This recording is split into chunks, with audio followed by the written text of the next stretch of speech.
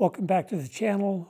I'm covering uh, building a frame for the uh, solar panels that I've got. I've got two panels, roughly two feet by five feet. Um, and so here I'll end up bolting the panels onto this frame. And I've got this frame um, hinged on each end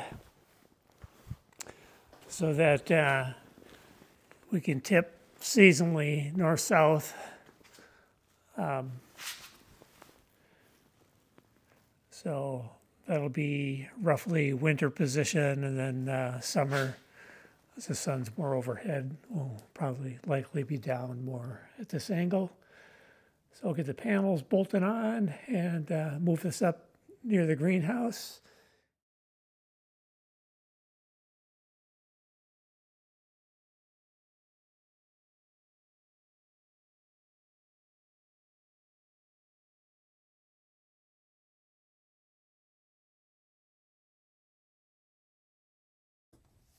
So here's all the pieces hooked up. I've got a uh, set of charge controllers in the upper left there, one charge controller per solar panel.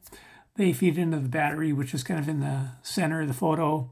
It's a 100 uh, amp hour lead acid battery. Sitting on top of that battery is a that orange and black as the 400 watt inverter.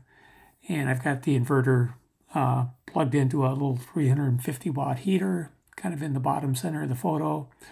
Um, I'll eventually put a smart plug between the inverter and the heater so that I can decide when to pull power from the inverter. But that's all the pieces. Uh, hopefully we get some sun and start uh, making use of this stuff. So hopefully you enjoyed. Bye.